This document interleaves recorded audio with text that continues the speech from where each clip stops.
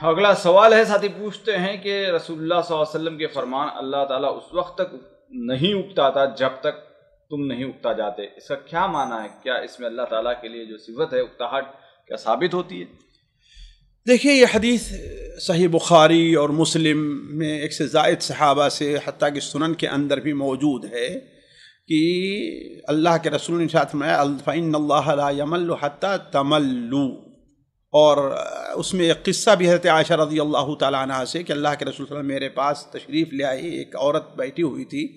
آپ نے کہا، یہ کون ہے؟ تو ہم نے کہا، یہ فلانا ہے، یہ وہی ہے جو راتوں رات نماز پڑھ سوتی نہیں ہے، نماز پڑھتی رہتی ہے، یہ ہے، وہ ہے۔ تو آپ صلی اللہ علیہ وسلم نے بیان فرمایا، ماں ماں، ٹھہرو ٹھہرو ٹھہرو ٹھہرو، تم علیکم من العمل ما تطیقون۔ تم عمل وہی اتنا کرو جس کی تمہارے پاس طاقت ہے۔ ہے نا؟ ظاہر بات ہے، رات، ہر رات کو جاگتے رہنا، یہ انسان کی طاقت سے باہر ہے۔ کیوں؟ اس لیے کہ دن میں اسے کام بھی کرنا ہے۔ اگر جو عورت ایسی کر رہی ہے، اگر ابھی غیر شادی شادی شدہ ہوگی تو شوہر کے حقوق ہے کہ نہیں فعن اللہ یمل حتیٰ تملو اللہ تعالیٰ اکتاتا نہیں ہے یہاں تک کہ تم اکتا جاؤ۔ یعنی کیا مطلب ہے؟ ایسا کرتے کرتے اگر تم رک جاؤ گے تو گویا اللہ تعالیٰ بھی اپنے ثواب اور عجر کو تم سے روک لے گا۔ یہ ایک فقہی طور پر معنی ہے، اس لیے کہ اللہ تبارک و تعالیٰ کے نزدیک سب سے محبوب عمل جیسا کسی حدیث کے آخر میں ہے، خود اللہ کے رسول کے نزدیک اور اللہ تعالیٰ کے بارے میں فرمایا کہ اللہ تعالیٰ سب سے بہتر عمل یہ ہے کہ اد وین ولو وین قل۔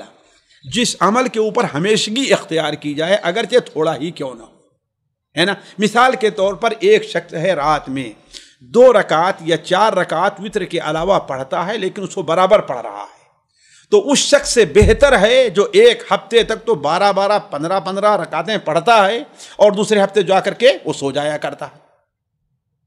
ہے کہ نہیں؟ ہے ایک شخص ہے جو مہینے میں صرف تین روزے رکھ لیتا ہے۔ تین روزے رکھ لیتا ہے، وہ اس سے بہتر ہے جو مہینے میں ہر پیر جمعرات کو روزہ رکھتا ہے، ایک مہینہ دوسرے مہینہ وہ چھوڑ دیتا ہے۔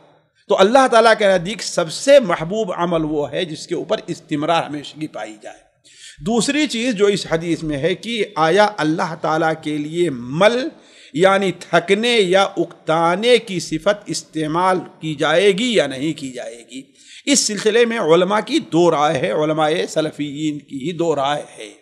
بعض علماء کہتے ہیں کہ یہ اللہ تعالیٰ کی ان صفات میں ہے، جیسا کہ لجنہ دائمہ کا بھی اس سلسلے میں فتویٰ ہے کہ جس کو اللہ تعالیٰ کے لیے ثابت کیا جائے گا، لیکن یہ اللہ تعالیٰ ہماری کسی چیز سے مثلا اگتا جانا، تھک جانا، یہ اگتانا ہمارے الفاظ میں کیا ہے، ایک نقص کی صفت ہے، کمزوری کی ہے، لیکن اللہ تعالیٰ کے لیے نہیں۔ جس طریقے سے استحضاء ہے خدا ہے ہے کہ نہیں؟ یہ ہمارے اور آپ کے لیے انسان کے نقص کی ہے، لیکن اللہ تعالیٰ کے لیے نہیں ہے۔ تو جیسے اللہ تعالیٰ کے شایان شان ہے ویسی صفت ہے۔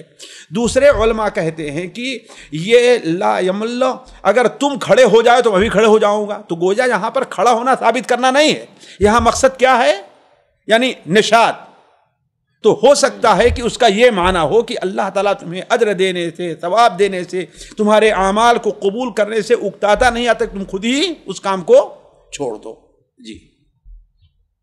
سامعین اکرام، ہمارے علمی اور عوامی دروس اور سوال و جواب کی مجلسوں سے آپ خود بھی مستفید ہوں اور اپنے دوست و احباب کے ساتھ بھی شیئر کریں۔ این ممکن ہے کہ آپ کے شیئر سے کسی کی اصلاح اور آپ کے لیے صدقہ جاریہ بن جائے۔ واٹس ایپ پر اسلامک میسج حاصل کرنے کے لیے نمبر نوٹ فرمائیں۔ Yaqoob Aziz zero zero nine double six five zero eight nine five nine seven zero seven WhatsApp سوال جو آپ گروپ میں ایڈ ہونے کے لیے نمبر نوٹ فرمائیں Abdussalam Umri, zero zero nine double six five zero two six two seven six double two. Number بھیجتے ہوئے نام اور پتہ ضرور لکھیں.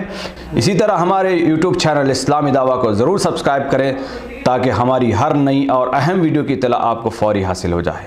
تمام دروس، مقالات اور سوال و جواب سیریز کے لیے ہماری مشہور website W W dot اسلامی ڈاٹ کام کا مشاہدہ کرتے رہیں۔ السلام علیکم ورحمۃ اللہ وبرکاتہ۔